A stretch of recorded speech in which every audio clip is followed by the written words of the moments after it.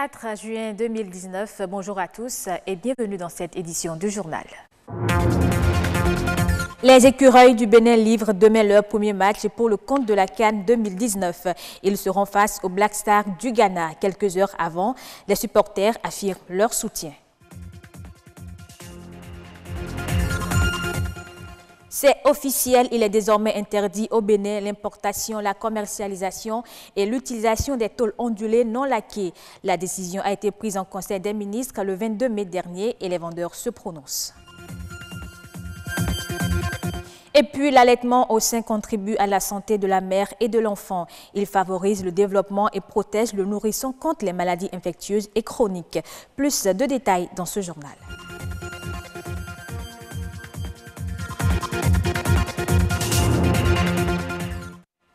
La Coupe d'Afrique des Nations Égypte 2019 a démarré depuis vendredi dernier. À quelques heures du premier match des écureuils du Bénin contre les Black Stars du Ghana, tous les regards sont tournés vers le stade du Caire. À Cotonou, les amateurs de football sont de cœur avec leur équipe nationale et n'entendent ménager aucun effort pour les soutenir jusqu'à la victoire. Suivez ici quelques propos de supporters recueillis par Hermance Aouno. Euh, c'est la victoire ou rien.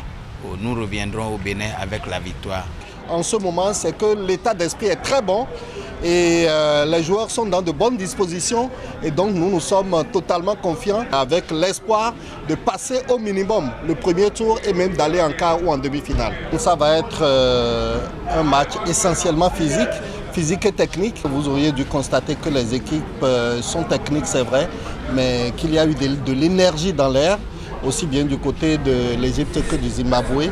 On doit espérer et nous prions, nous nous préparons pour que cela soit euh, effectif. Donc moi je compte sur les écureuils, nous comptons sur eux et je pense qu'ils iront loin. Mais nous sommes euh, dans un groupe euh, où il y a la Guinée, le Cameroun et le Ghana. Et donc, comme on dit depuis quelques, quelques années maintenant, il n'y a plus de petites équipes, il n'y en a pas de grandes. Et donc les écureuils euh, et nous, en premier, nous n'avons peur d'aucune équipe. Aujourd'hui, 24 juin, c'est la journée anti-contrefaçon. C'est une journée internationale d'origine anglo-saxonne qui existe depuis 1998. Son objectif est de sensibiliser le grand public aux conséquences de la contrefaçon, tant du point de vue économique que celui de l'environnement ou encore de la santé. Pour rappel, la contrefaçon est un fléau qui touche de nombreux secteurs.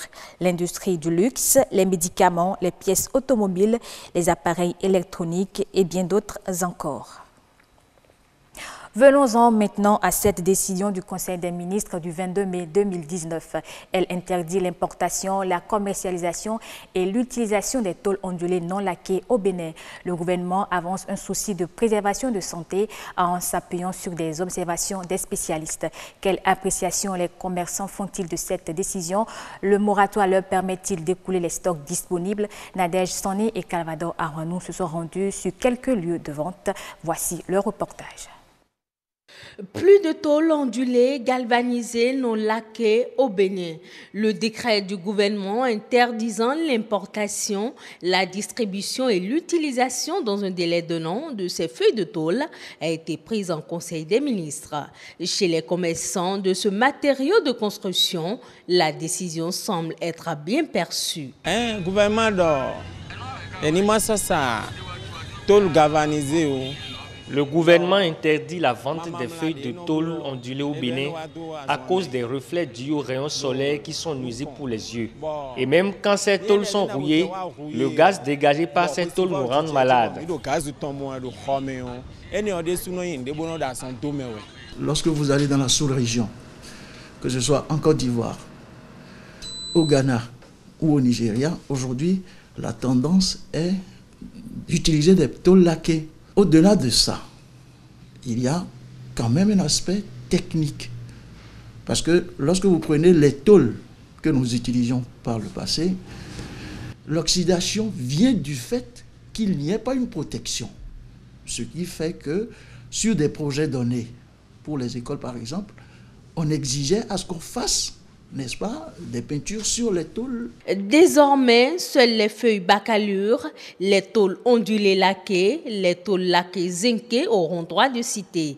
Ces tôles allient esthétique et résistance, même si à l'achat, le coût semble élevé environ 60 à 90 000 francs CFA pour ces matériaux modernes, contre 35 à 40 000 francs CFA pour les tôles ordinaires. La chaleur faisant son effet, ces gens de tôles permettent justement de ne pas trop sentir la chaleur. Alors la différence peut-être à l'achat, le client constate que les tôles euh, laquées sont plus chères, mais attention, elles durent beaucoup plus dans le temps même si les marchands de ces équipements n'éprouvent aucune objection face à la décision, ils ont quand même quelques inquiétudes. Si les tôles qu'on doit vendre désormais sont importées et si le coût peut être le même que celui auquel nous vendons les tôles ondulées et ne pas nous créer des soucis pour la vente, c'est bon. Euh, nous allons demander peut-être au gouvernement de revoir les mesures d'accompagnement comme on l'a fait en son temps pour les tuiles. Donner 12 mois pour des gens qui ont stocké, vous savez, euh, le déstockage, ce n'est pas systématique. Pour certains vendeurs ayant requis l'anonymat, cette décision du gouvernement est un peu précipitée et répond plus à un souci d'esthétique. Que deviendraient donc les milliers de stocks existants et même en route pour le Bénin Qu'adviendrait-il des sociétés existantes uniquement pour l'importation ou la fabrication de ces feuilles de tôle et de leurs nombreux employés? Pour l'heure, ces questions peinent à trouver réponse. Parlons à présent de la santé de la mère et de l'enfant. Mettre son bébé au sein des sangs venus au monde sauvegarde la vie de la mère et celle de l'enfant. L'allaitement au sein est un moyen sans égal de fournir une alimentation idéale. Il fait aussi partie intégrante du processus reproducteur avec des répercussions importantes sur la santé de la mère. Reportage Marianne Bossémédé. L'allaitement, source de vie pour le nouveau-né. La mise au sein du bébé les minutes qui suivent l'accouchement devrait être systématique selon les professionnels de la santé. Les avantages sont prouvés. Cet allaitement maternel va aider la mère à faire ce que nous appelons une évolution utérine. La première cause de décès des, femmes à l'accouchement, ce que nous appelons décès maternel, vous savez, c'est l'hémorragie de la délivrance. La mise au sein précoce peut permettre de lutter contre cette hémorragie de la délivrance. Tout simplement parce que quand nous allons une fois l'accouchement fait, immédiatement, dans l'heure de l'accouchement, si l'enfant est mis au sein, en même temps, il y a un phénomène neurohormonal qui se déclenche et il y a sécrétion d'oxytocine qui permet donc d'éviter cette hémorragie Le simple fait que l'enfant est mis en contact de sa maman, ça lui permet de conserver la température à laquelle l'enfant était déjà dans le ventre. Et donc, on ne crée pas un vide tout de suite après la naissance de l'enfant.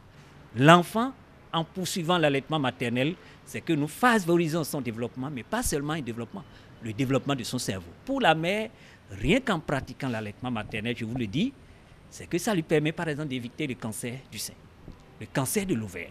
En faisant cet allaitement maternel, c'est que la maman est en train donc de créer déjà un lien affectif entre l'enfant et elle. Lien affectif entre la mère et l'enfant, accentué par le colostrum, la sécrétion du premier lait maternel.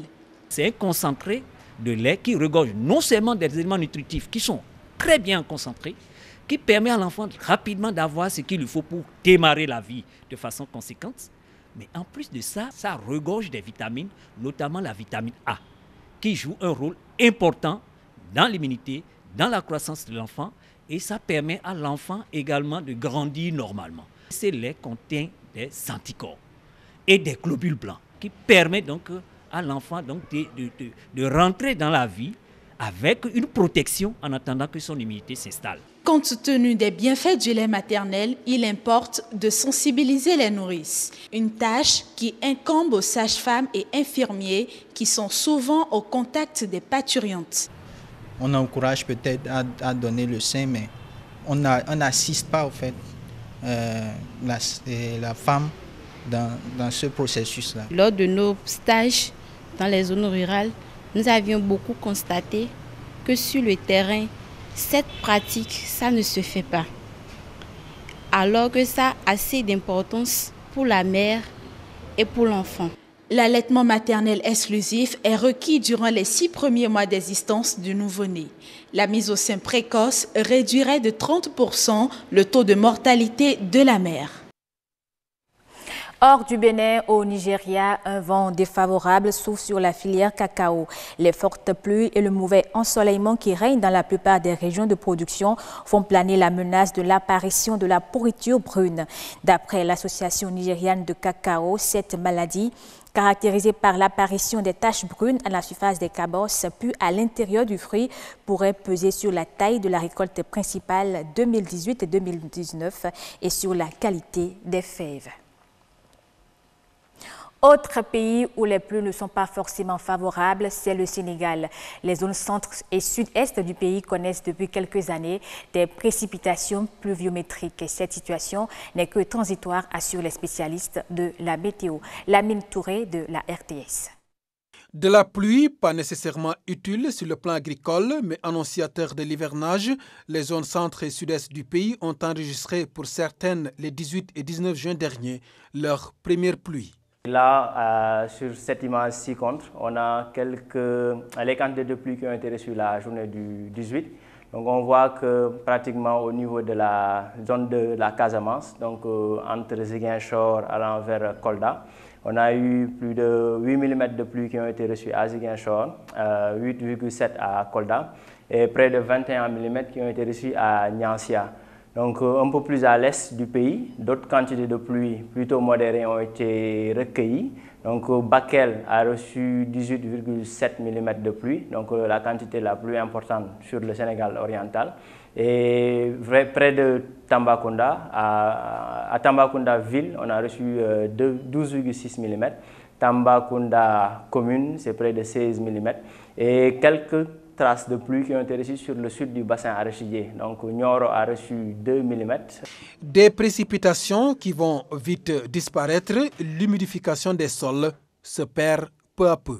On se rend compte qu'après cette bonne humidification, euh, on a un retrait donc, de, la, de la mousson. Donc les perspectives actuellement donc, sur cette carte, tout ce que vous voyez en bleu, c'est pratiquement des flux de mousson, donc l'air chaud et humide dont on a besoin pour avoir de la pluie au niveau du Sahel et en particulier au Sénégal. Mais là, c'est la carte d'aujourd'hui. On voit que cette humidité commence à se retirer carrément vers le sud. Et là, on se rend compte que c'est surtout vers la Guinée où c'est un peu plus marqué. Les premières pluies utiles sont attendues pour début juillet.